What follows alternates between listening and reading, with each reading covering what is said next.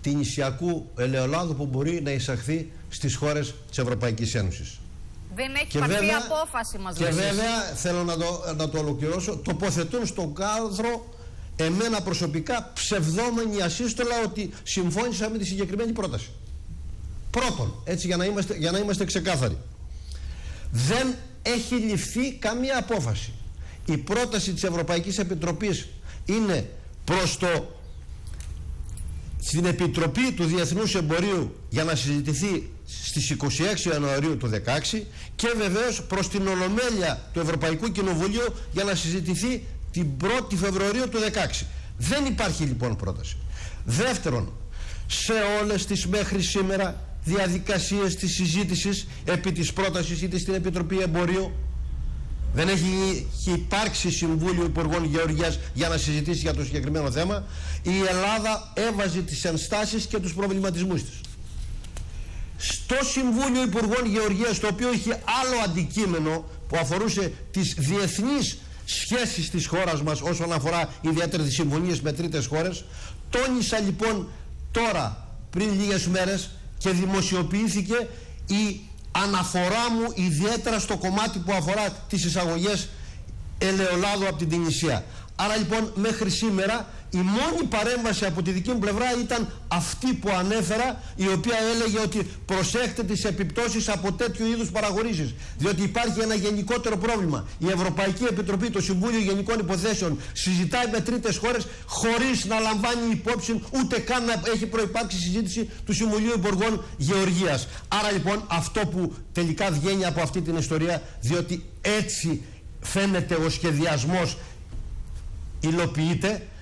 Μείωση της τιμής του ελαιολάδου στους παραγωγούς αυτή την ώρα της συγκομιδής.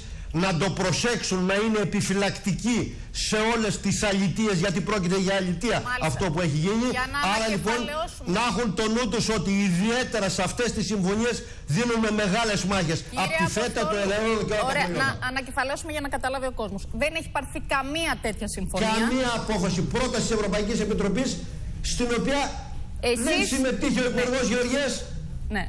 Ε... Πόσο μάλλον όταν ήταν προεκλογική περίοδος. Ωραία. Ωραία. Επειδή υπάρχει όμως ως πρόταση ε, αυτή, κυρία Αποστόλου, ποια θα είναι η θέση της ελληνικής κυβέρνησης λοιπόν, και εσάς προσωπικά; Θα, θα, απλώς συζήτηση. Θα βάλετε κάποιο βέτο σε όλη αυτή την ιστορία; Ακούστε, ακούστε, ακούστε, ακούστε. Από εκεί και πέρα τα θέματα βέτο δεν είναι τόσο απλά όσο έτσι τα θεωρούμε.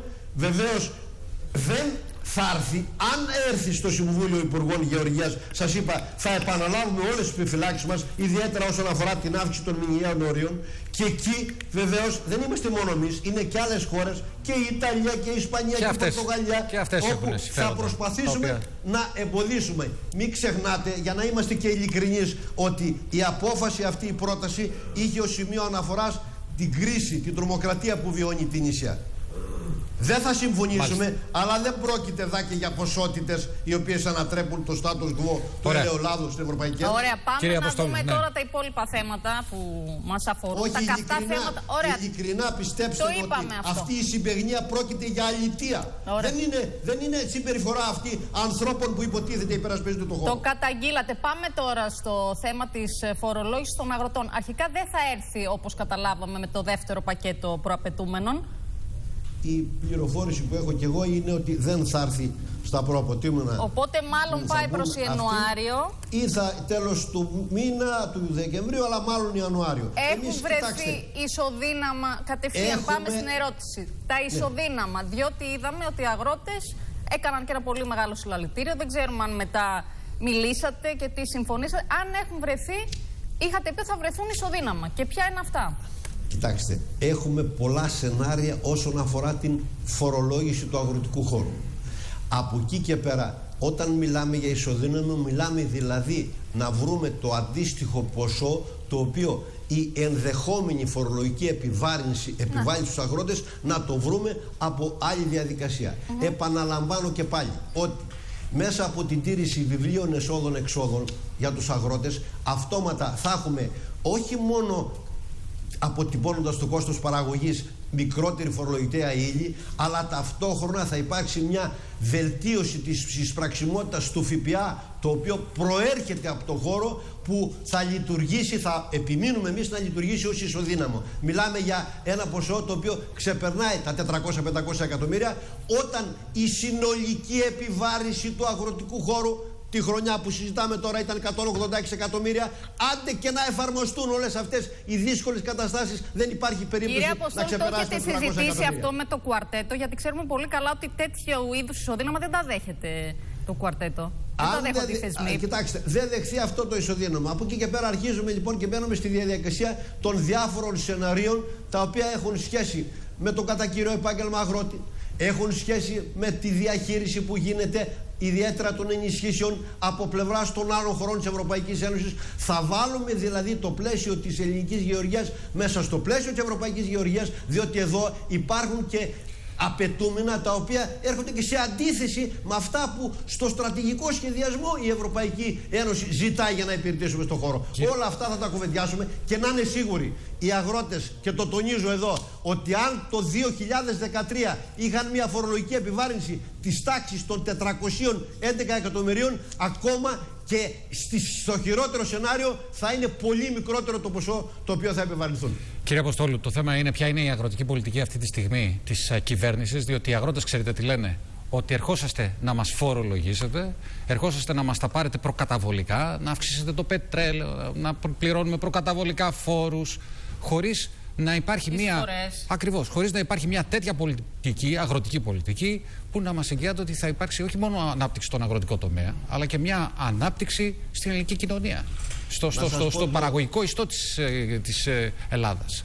Να σας πω το παράπονό μου κιόλα διότι αυτή την ώρα, αυτές τις μέρες συζητείται ένα νομοσχέδιο πάρα πολύ σοβαρό που αφορά το υπόβαθρο των βοσκήσιμων γεών της χώρας μας. Μιλάμε για την διαχείριση εκτάσεων οι οποίες απαντούν στο μεγάλο θέμα ανάδειξης της κτηνοτροφίας ως το βασικότερο εργαλείο για την παραγωγική συγκρότηση της χώρας. Μιλάμε ότι θα ε, διασφαλίσουμε μέσα από τα διαχειριστικά σχέδια που θα φτιάξουμε για αυτές τις εκτάσεις ξεπερνούν τα 50 εκατομμύρια στρέμματα στη χώρα μας.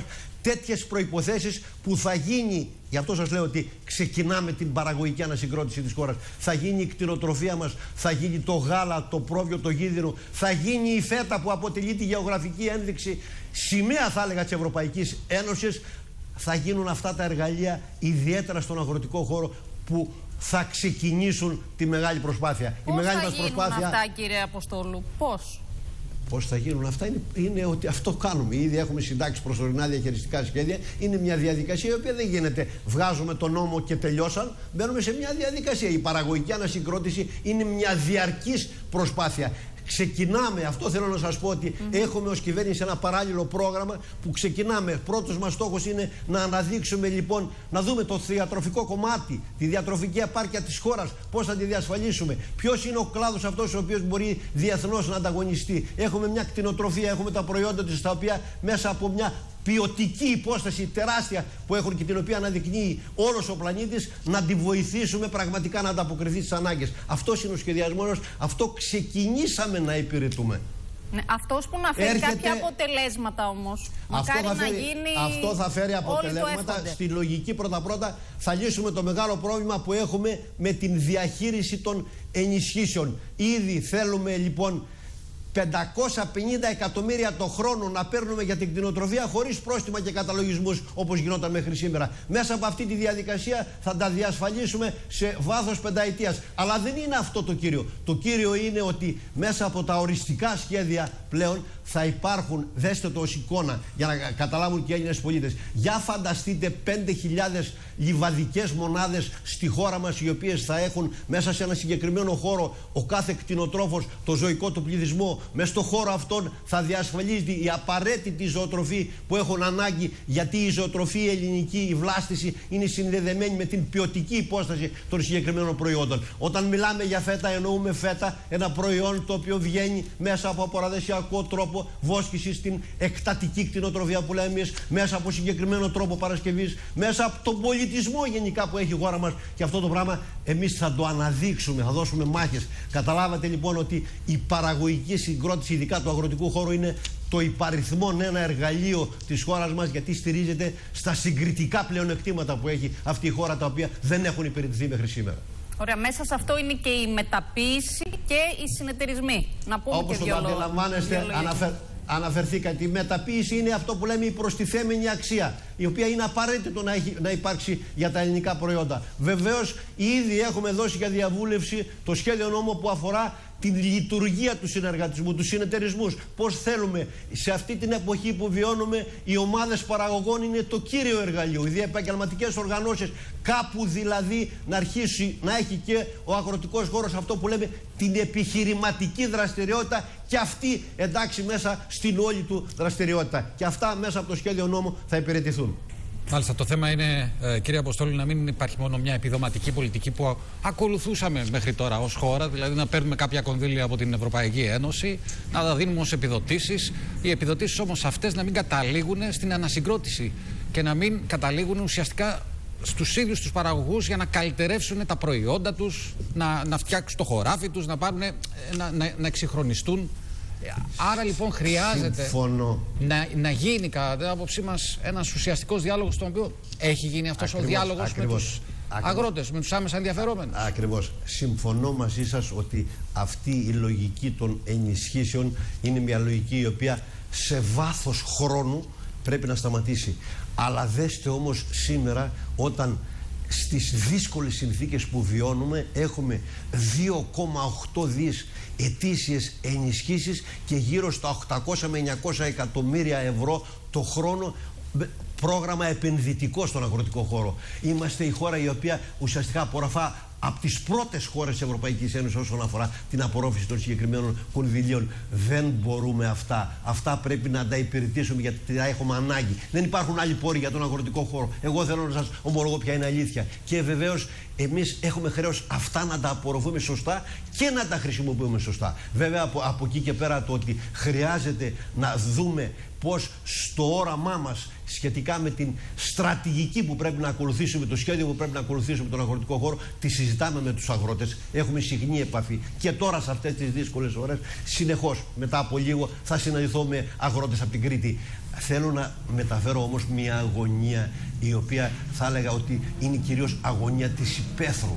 Η ύπεθρος χώρα θα είναι αυτή την οποία πρέπει να στηρίξουμε με δραστηριότητες θα έλεγα μια πολυαπασχόληση στον αγροτικό χώρο πέραν, πέραν αυτού που αφορά την αποκλειστικότητα στη γεωργία για να μπορέσει να παραμείνει ο κόσμος στις ρίζες ναι, του, για να μπορέσουν οι νέοι να Να μείνει και κίνητρα για νέους ανθρώπους, νέους αγρότες. Και να φύγουν από την πόλη να πάνε να γίνουν αγρότες. Στο πρόγραμμα αγροτικής ανάπτυξης που έρχεται τη επόμενη πενταετία προβλέπουμε πάνω από 15.000 σχέδια βελτίωσης που αφορούν τους νέους αγρότες με ενισχυμένη θα έλεγα επιχορήγηση σε σχέση με τις άλλες δραστηριότητες. Είναι πολλά ζητήματα ιδιαίτερα για τους νέους αγρότες που οφείλουμε να τα υπηρετήσουμε. Υπάρχει ένας ενθουσιασμός στους νέους αγρότες αυτόν τον ενθουσιασμό να τον υπηρετήσουμε, να τους βοηθήσουμε όχι μόνο την πρώτη και τη δεύτερη χρονιά αλλά μέχρι να ορθοποδήσουν. Είναι από τα πολλά ζητήματα που οπωσδήποτε έχουμε χρέος να βοηθήσουμε και να επιλύσουμε. Μάλιστα. Ωραία, να δούμε και. Και το τελευταίο που έχει να κάνει με το, το ασφαλιστικό, έτσι. Με το ασφαλιστικό, σήμερα συζητείτε το ασφαλιστικό. Τι θα γίνει με τις εισφορές και με τον ΟΓΑ; Σας αφορά άμεσα και τους αγρότες. Μας αφορά άμεσα και θα έλεγα ότι από όλο το πλέγμα των προαπαιτούμενων που έχει σχέση με τον αγροτικό χώρο, το ζήτημα της ασφάλειας, το ζήτημα του ΟΓΑ είναι το πιο δύσκολο. Και το λέω αυτό διότι πρέπει οπωσδήποτε ο ΟΓΑ να τηρήσει την αυτονομία του, να κρατήσει την αυτονομία του δεδομένου ότι δεν είναι μόνο οι 250-270 χιλιάδες κατά κύριο επάγγελμα αγρότες είναι πάνω από ένα εκατομμύριο 300 χιλιάδες κάτοικοι της υπαίθρου που είναι το ασφαλιστικό του ταμείο. Ε, όπως Διότι... δεν το συμμερίζεται ο κύριος Κατούζαλος. Ε, ε, κοιτάξτε να δείτε. Αυτή την κουβέντα που έχουμε κάνει τουλάχιστον είναι ότι αν δοθεί η εθνική σύνταξη στους αγρότες όσον αφορά το κομμάτι το συνταξιοδοτικό. Αυτό συμφωνήσαμε στη σχετική συζήτηση. Δηλαδή, αν πάμε από τα 330 που είναι σήμερα η μέση η σύνταξη, η κατώτερη σύνταξη, να πάμε στα 385-390 και το υπόλοιπο κομμάτι το επιπλέον των 385 να μπει στη λογική της ανταποδοτικότητας τότε εμείς λέμε ναι ας πάνε σε ένα ενιαίο ταμείο όσον αφορά το κομμάτι το συνταξιοδοτικό. Το υπόλοιπο όμως το κοινωνικό κομμάτι γιατί σας είπα ότι είναι πολύς ο κόσμος δεν είναι μόνο το συνταξιοδοτικό είναι η κοινωνική πολιτική είναι τα θέματα υγείας όλα τα οποία είναι απαραίτητο να κρατηθούν στον αγροτικό χώρο. Εκεί λοιπόν να τηρήσει την αυτονομία του και θα την κρατήσει αυτό έχουμε συμφωνήσει έτσι και από εκεί και πέρα η ανταποδοτικότητα των εισφορών να μπει αλλά βεβαίως επειδή ζητάνε άμεση συμμόρφωση, αύξηση του ασφαλίστρου, επιμένουμε ότι αυτό να πάει σε μια διαδικασία τριών έως πέντε χρόνων. Τότε τα πράγματα ναι. θα είναι, θα έλεγα, πιο ήπια. Ένα τελευταίο για το πετρέλαιο που αφορά πάρα πολύ, πάρα πολύ τους αγρότες. Έχετε σκεφτεί κάτι για το πετρέλαιο, για να μην αυξηθεί τόσο πολύ η τιμή του; Αυτό που έχω σκεφτεί είναι ότι, όπως αντιλαμβάνεστε, επειδή είναι ξεκάθαρη η ρύθμιση και απαιτεί την μη επιστροφή μελλοντικά ουσιαστικά του ειδικού φόρου κατανάλωσης. Εμείς τονίζουμε στους αγρότες επειδή ιδιαίτερα αυτοί που ασχολούνται με τη φυτική παραγωγή έχουν μεγάλο κόστος όσον αφορά το πετρέλαιο στα βιβλία εσόδων-εξόδων στις δαπάνες θα καταχωρούνται και το πετρέλαιο με τον ειδικό φόρο κατανάλωσης όλο αυτό ούτως ώστε τουλάχιστον να μειώνει το υποτιθέμενο καθαρό κέρδος για να έχει τουλάχιστον μια ελάφρυνση από αυτή την πλευρά. Δεν μπορούμε να κάνουμε τίποτα άλλο πέραν αυτού. Κύριε Αποστόλη, σας ευχαριστούμε, σας ευχαριστούμε πάρα πολύ για την καλά. συνομιλία που είχαμε και να συνεχίσουμε εμείς σε αυτή τη ε, συζήτηση που έχουμε ξεκινήσει από την αρχή της εκπομπής με βουλευτές, με στελέχη